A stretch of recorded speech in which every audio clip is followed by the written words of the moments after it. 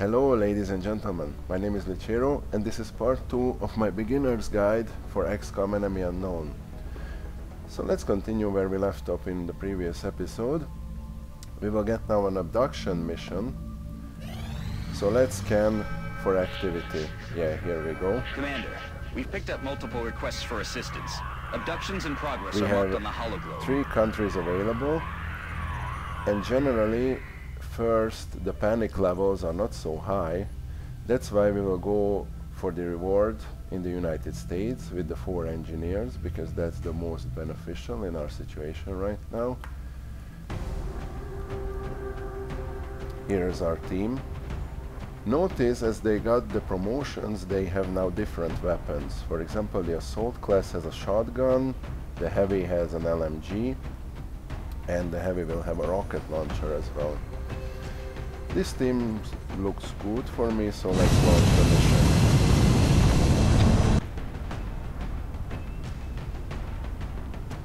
Ah, and another little trick with the abduction missions, this is very useful, Strike one. Prepare. especially if you are playing on impossible. Get Impossible. ready to deploy. Our If you AO are is within the expecting an abduction United mission to happen, then save the game before. And if you don't like the rewards, for example on Impossible, you have to consider the panic levels really much. But for example, if you need the money or the engineers and the country is not providing it where you have to go, then you can just reload the save. It's not going to change the countries. For example, if you got India or United States or anything like that, it's going to stay the same. But if you reload, the rewards will be randomized again. So you may get what you wish after reloading. So let's just put everybody on Overwatch for now. The second mission doesn't have too many aliens, as I remember. This is a tank station, so they can be here in the building. Let's search for some hard cover. Let's move here. Here they come. Yes, they are in the building. Two sectoids shouldn't be much of a problem. Alright. 50% chance to hit, because with the promotion we got an aim bonus as well. So 50% chance, let's take it. But it's a miss. No, shot wide. Alright, let's move in to some area with at least half cover. Well, this situation is not really preferable. Let's move here. With Overwatch. This is dashing as well. Alright. I don't want them to flank me, so I will just put everybody on Overwatch for the time being. And maybe with my heavy, let's try to flank them. And maybe I can demonstrate the rocket in the next run.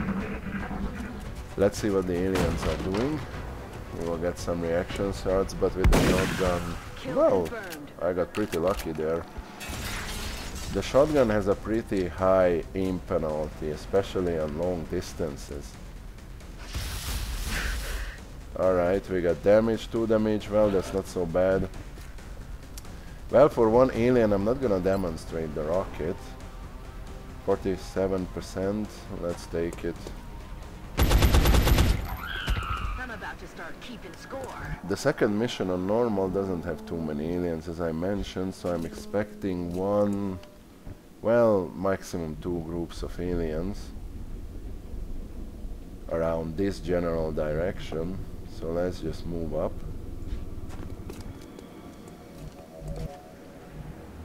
And the last group I will try to demonstrate the new skills we gained.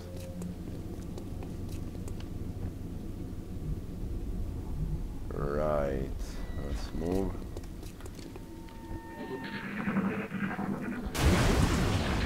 See, the car just exploded.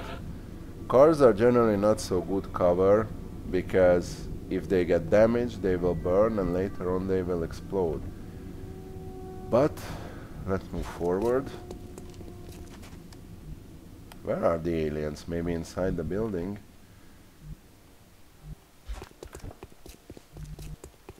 let's move our soldiers into position. Wow, the heavy is really far away.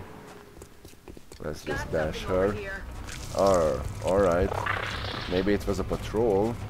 Because it's not such a normal area for them to be. Well, this is not a pleasant situation. What was that sound? I will throw maybe a smoke grenade if I can. No, I can't. Alright. Let's move here. And let's wait for the aliens to do something. My heavy is really, really in a bad position. They caught me off guard there. Well, nothing happened. Let's demonstrate the rocket. It's always fun. As you can see, the rocket will always have only 90% chance to hit. Uh, anyway, let's just do this. Maybe we'll destroy some cover. Targeting system must be. And she missed with 90% chance. I Awesome. don't think we're alone out here. Yeah, we are definitely not alone out here. Let's go to Overwatch. Let's move closer. I will throw a smoke grenade just to be safe. With you, we could move. Let's move just here. You are on assault. You can move on the next turn anyway. Let's throw a smoke grenade here. So they are protected with 20, 20 plus defense.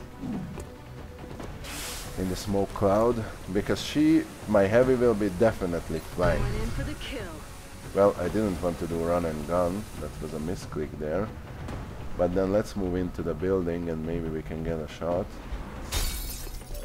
Yeah we can. So I can demonstrate run and gun 22% chance. Let's just go to overwatch instead Run and gun enables you to do Overwatch as well. That is a missed shot. And it didn't destroy my cover. Alright. 30% chance to hit. That's not so good. Let's move in with her because my cover is burning anyway and now I'm flanking him. So this should be a kill. Yes, it is. One more sectoid is still inside the building though. So let's move up our heavy. And Overwatch. Let's move up our support as well.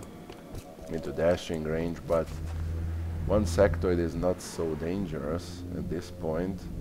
And let's move inside the building with our support. The support is not getting any weapon upgrades. You have to use assault rifle and later on the laser equivalents to the assault rifle. Let's move closer. He's outside the building maybe. He is a rookie, so let's just move with him. There were two sectoids and I only killed one. Where's the other one? Good question. Let's move up. Overwatch. And Overwatch with the heavy as well. As you can see, burning cover will be destroyed. You hear that? The sound waves indicating that the one sectoid is so far away. Maybe there is another group. Alright, here he comes. And the reaction shot took care of him. Mission accomplished. And that should be for the second mission.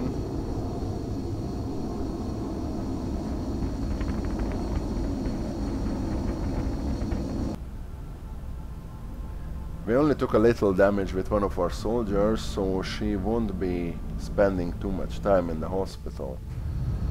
Commander to the situation room. No promotions, to the but that's situation room. normal. Ah, new facility available, workshop. Workshops are really useful.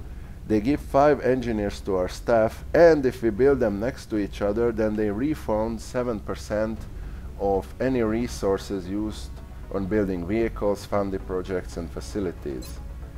And we got our four engineer reward. will be in touch, Commander. So, let's go to the situation room. Every member of the council is going to want satellite coverage. On normal, our as I mentioned before, you get one satellite for free. This is not the case in Classic or Impossible, so you have to build that one satellite yourself. Let's see, these are the panic levels. Our panic levels are pretty good at this point, but because of the abduction mission, we ignored France and Egypt. Their panic levels are increased. At the end of the month, if the panic levels are reaching maximum, it's 5 and it will I'm be red color. contact, And if you I don't do anything about it, that country will leave the council. There are 16 members, and if 8 members are leaving the council, then it's game over basically. Here you can see the bonuses from the continent as I was mentioning them before and if you launch satellites there you will get the bonus anyway. So we have one free satellite and France is giving 80 credits per month and two scientists where scientists are not so useful anyway but let's launch our satellite to France. uplink facilities at maximum Oh yeah, because we are stationed in Asia, we have two interceptors in Asia, but none in France. So, what we will do is to go to the hangar and buy an int- interceptor for Europe. Bear in mind that it takes three days. So in France, we are not gonna get any abduction mission anymore. We will only get UFO contacts. Let's see here the gray the market. have expressed an interest If you are running short on money here, you can send your possessions. However, we should be careful In the early game it's not recommended because you need these corpses and weapon fragments for research. But later on, as the UFO missions will start to appear, you will get damaged uh, things which are not good for anything, so that you will have to send anyway. The requests, sometimes countries are making requests for you, they are really great. Usually they are asking for some med kits or some weapons and they're giving a lot of money to you in exchange. The new So- engineers arrived this morning, Commander. As We're I mentioned glad to have before, let's build a workshop. As you can see, a building requires usually three things. A amount of power, amount of engineers or scientists, and of course money. Let's build a workshop here. So we will get five more engineers. And what do we need for a satellite uplink? Yeah, more engineers.